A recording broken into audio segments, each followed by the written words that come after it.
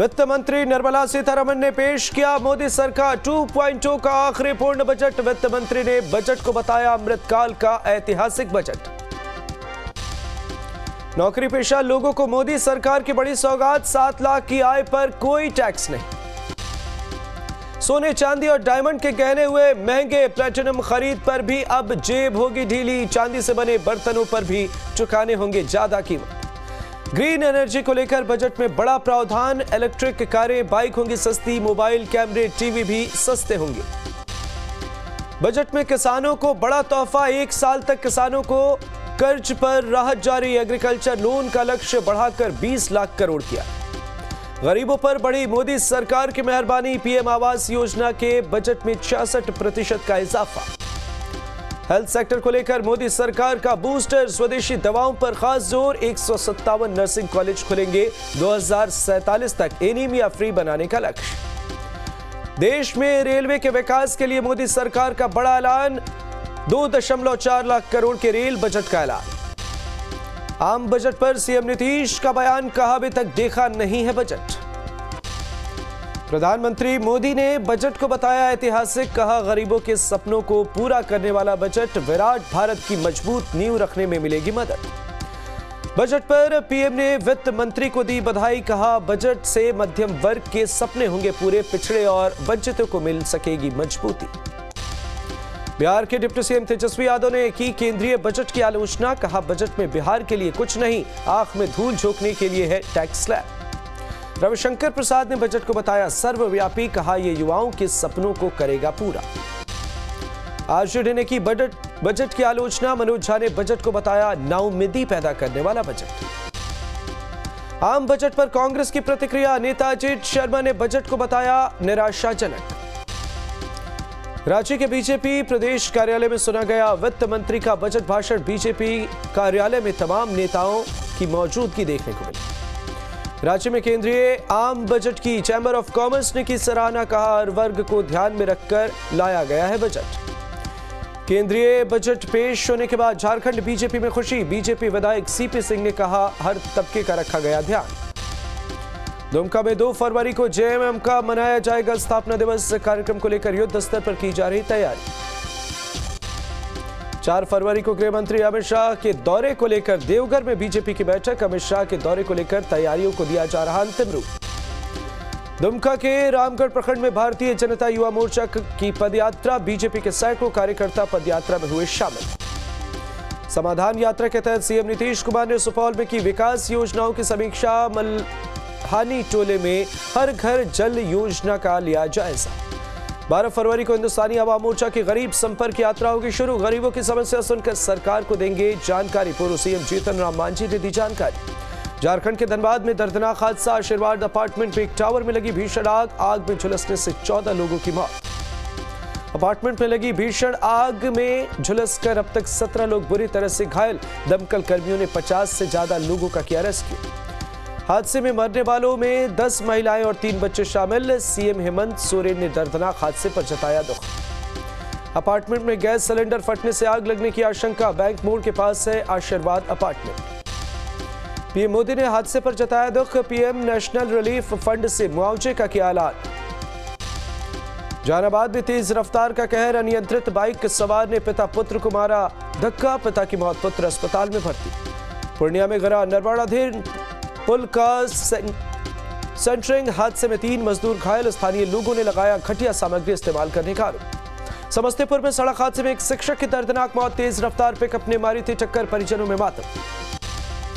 बगाह के हरपुर के मुजौना पंचायत में पुराना गाँव में तीन घरों में लगी आग। आगजनी से लाखों के नुकसान की खबर। समस्तीपुर में बाइक सवार प्रॉपर्टी डीलर को ट्रक ने मारी टक्कर। हादसे में प्रॉपर्टी डीलर की हुई मौत। कराड़ी थाना क्षेत्र के नेशनल हाईवे अट्ठाईस की घटना। समस्तीपुर में तेज रफ्तार पिकअप वैन की टक्कर से बाइक सवार टीचर की मौत, कल्याणपुर थाना क्षेत्र के वीर सिंहपुर चौक के पास हुआ हादसा। रामगढ़ में सड़क दुर्घटना में ग्रामीण की मौत के बाद ग्रामीणों का प्रदर्शन, दुर्घटना के विरोध में जरियो गाँव के लोगों ने किया नेशनल हाईवे को जाम कटिहार के बटेरा चौक के पास लगी भीषण आग, दो किराना दुकान समेत पाँच घर जलकर खाक, फायर ब्रिगेड ने आग पर पाया काबू। वैशाली में हथियार के बल पर नाबालिग को किडनैप करने की कोशिश, घर में घुसकर की फायरिंग, हिम्मत दिखाकर फरार हुई नाबालिग लड़की।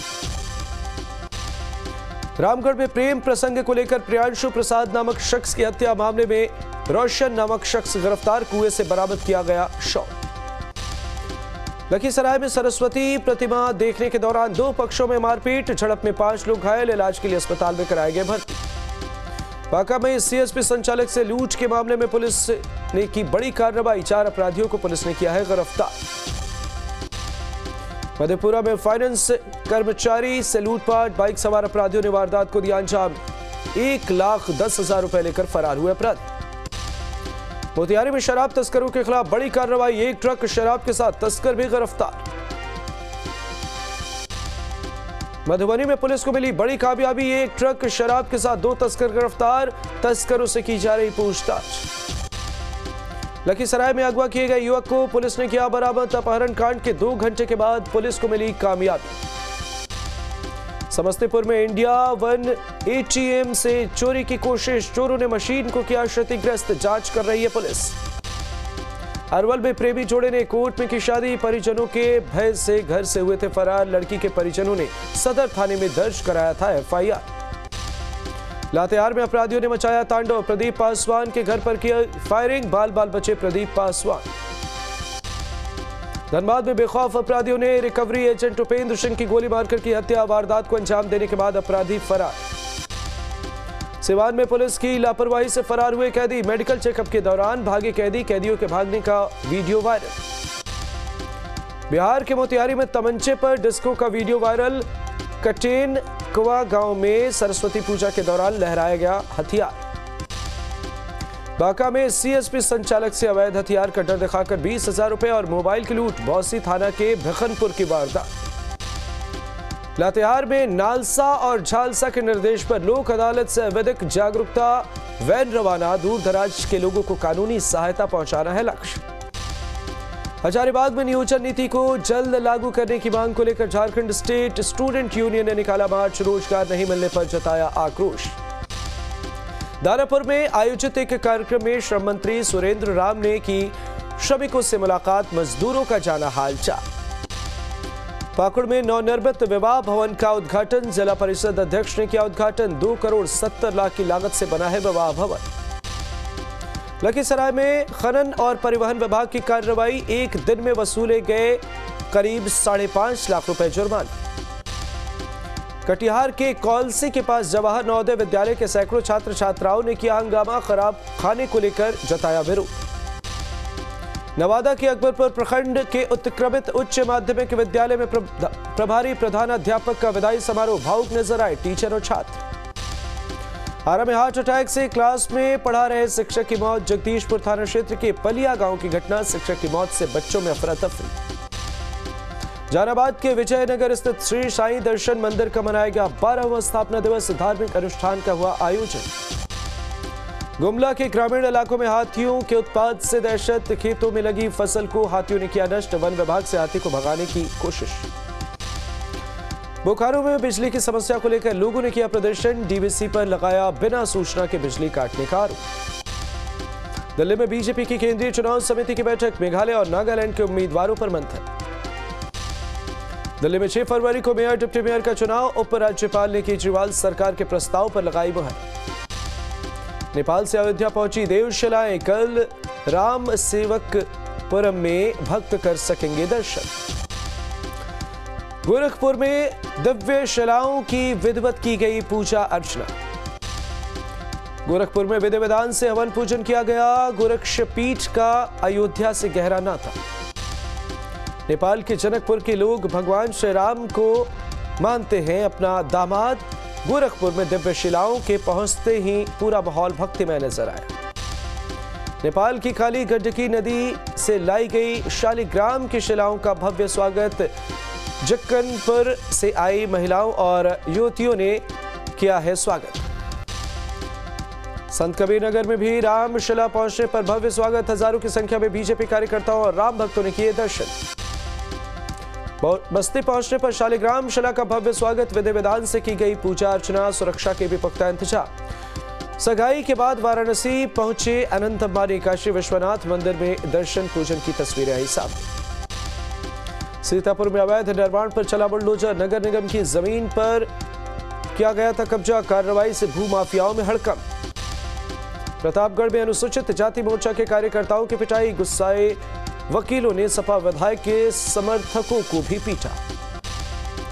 आगरा विकास प्राधिकरण हुआ बकायेदारों पर गंभीर करोड़ों में है बकायेदारों पर राजस्व बकाया। नोएडा में सड़क हादसे के बाद मर्सिडीज कार में लगी आग, कार सवार की झुलसकर हुई मौत, डिवाइडर से टकराई थी बेकाबू का रायबरेली में पटरी से नीचे उतरा ट्रेन, का इंजन, अधिकारियों में मचा हड़कंप, रेलवे रूट प्रभावित। जम्मू कश्मीर के गुलमर्ग में एवलॉन्च दो पर्यटकों की मौत 19 पर्यटकों का किया गया रेस्क्यू। जम्मू कश्मीर में लैंडस्लाइड ने बढ़ाई परेशानी, जम्मू श्रीनगर हाईवे अब भी बंद, मनिहाल में हुआ था लैंडस्लाइड। मांदीपुरा में बर्फबारी से सफ़ेद हुआ पूरा इलाका, घरों के बाहर बर्फ़ ने जमाया कब्जा। कश्मीर के टूरिस्ट प्लेस पर मौसम का लुफ्त उठा रहे पर्यटक, बर्फबारी से सैलानियों के चेहरे खिले। जम्मू कश्मीर के गांधरबल में भारी बर्फबारी के बीच पुलिस कर रही लोगों की मदद। पुलिस ने चाउंट व्हीलर लार में फंसे एक शख्स को बचाया। जम्मू कश्मीर के अनंतनाग में भी भारी बर्फबारी हर जगह दिखाई दे रही बर्फ़ की मोटी चादर। श्रीनगर और उसके आसपास के शहरों में लगातार हो रही बर्फबारी। पहाड़ से सड़क तक पीछे बर्फ़ की सफ़ेद चादर। कश्मीर में आज के लिए भी एवलॉन्च का अलर्ट जारी। कश्मीर के तीन जिलों में खतरनाक और पाँच जिलों में मध्यम स्तर के एवलॉन्च का अलर्ट हिमाचल प्रदेश के ऊंचाई वाले इलाकों में हुई ताज़ा बर्फबारी। मौसम विभाग के मुताबिक पहाड़ियों पर हो सकती है हल्की बारिश। शिमला में भी ताज़ा बर्फबारी। सड़क, पेड़, सब बर्फ़ से सफ़ेद नज़र आए। बर्फबारी से गाड़ी की रफ्तार पर लगी मुश्किल ब्रेक। हिमाचल के धर्मशाला में जन्नत जैसा नज़ारा, बर्फ़ ने बढ़ाई पहाड़ों की खूबसूरती, पर्यटकों को प्रकृति का सबसे बड़ा तोहफा। हिमाचल के नारकंडा में भी लगातार बर्फबारी, होटलों के बाहर लगा बर्फ़ का ढेर, पर्यटकों में खुशी की लहर। लाहौल स्पीति में भी लगा बर्फ़ का ढेर, तापमान में आई गिरावट, घरों में कैद रहने को मजबूर लोग। नैनीताल में हुई ताज़ा बर्फबारी के बाद तापमान में गिरावट, नौका पीक और उससे सटे इलाकों में हुई जमकर बर्फबारी। अमेरिका में बर्फबारी की वजह से बड़ा हादसा, टेक्सास के पास आपस में भिड़ी 12 गाड़ियाँ, कई लोगों के घायल होने की खबर। बर्फीली सतह की वजह से हुआ दर्दनाक हादसा। हाईवे पर मची चीख पुकार घायलों का रेस्क्यू किया जा रहा। टेक्सास में बर्फीले तूफ़ान के बाद हालात बेहद खराब। हाईवे पर लगा कई किलोमीटर लंबा जाम। टेक्सास में टोनीसी तक बर्फीले तूफ़ान का कहर। कई इलाकों में अब भी भारी बारिश। फ़िलहाल राहत के आसार नहीं।